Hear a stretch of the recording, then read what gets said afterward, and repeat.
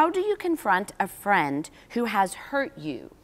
And I don't. Do you? Uh, sometimes. Tell me. Yes. Uh, you know, I like to use the word instead of confront. And I'm a lawyer. We do confront. It's that's no problem. The harder part is to confirm.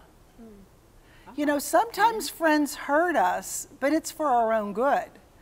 Sometimes mm. friends hurt us and they mean to, and some God's working something in them.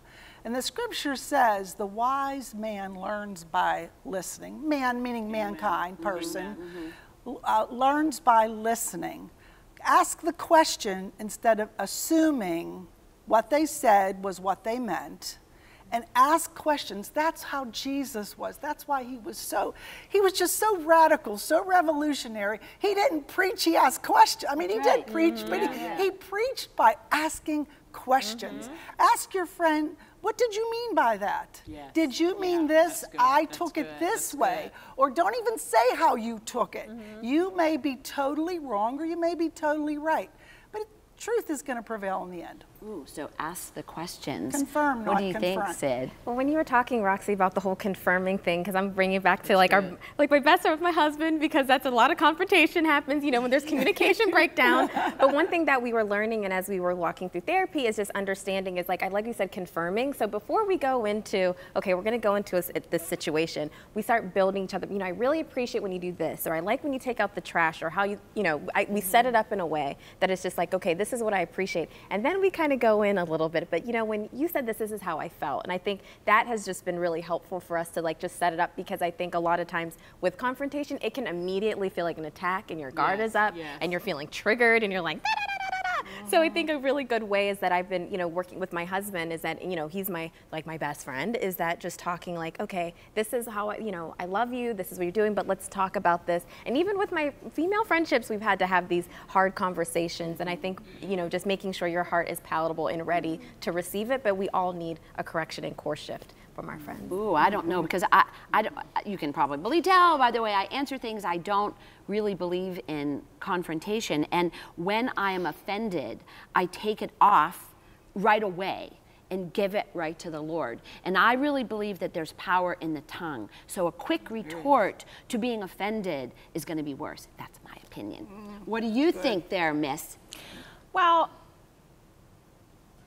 I think I don't agree with you.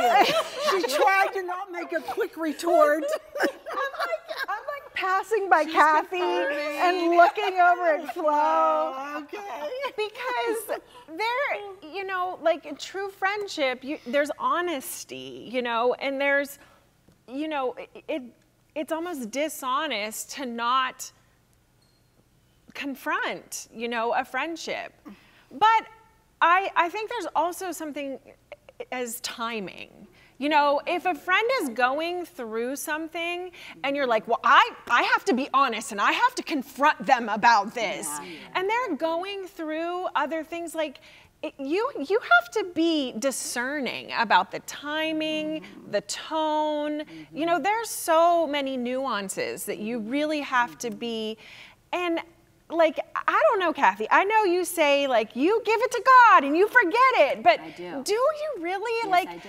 I, I think that there's you know pushing it under the rug like it's underlying there and that it's eventually going to come out like i've had friendships where it, you know, like down the road, and it could be years, like something tiny ends up becoming this explosion yeah. because you never talked about these issues that you really did need to talk about. And it's both parties need that, you know?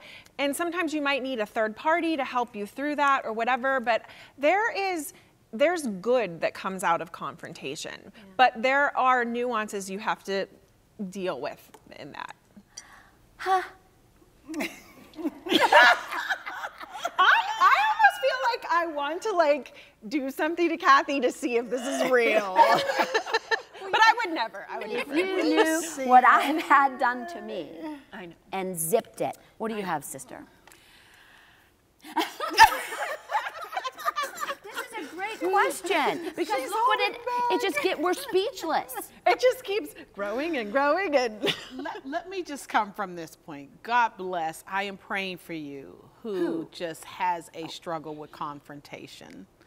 Um, I think that maybe your first step is let's pray and ask God to give you the grace and the boldness because a friend speaks the truth at all times. You do it in love, there, as you, you, you well put the nuances of it. Um, if I am hurting, I can do something to you and be totally unaware that I wounded you. That's not my heart. I want to know. Give me the opportunity to make it right. So if you don't share that with me, then I'm clueless. You know what I'm saying? And and I don't want to be walking in sin. So I want to get it right with you. I want to get it right with God, and I want to learn from it. So when you don't bring it to my attention, you rob me of all of that. Well, that is a good answer. These are all good answers. Mm-hmm. And I love you all. We say love you another too. quick thing I want to add it is like I think it's boundaries too. Is that like I think with confrontation it's like you have to confront things and so you have personal boundaries and it's healthy. So I know a lot of people it's like oh let's stuff it down and pretend it doesn't exist, but you have to deal with it. Confrontation, I heard one person say, it's a way that we're able to exercise the fruit of the Spirit. God gives us that opportunity to exercise peace, agree with love, joy, patience, long good. suffering. I'm glad I allowed you to go past my boundary. it's time to close this section of the show. We will be right back. Stay there.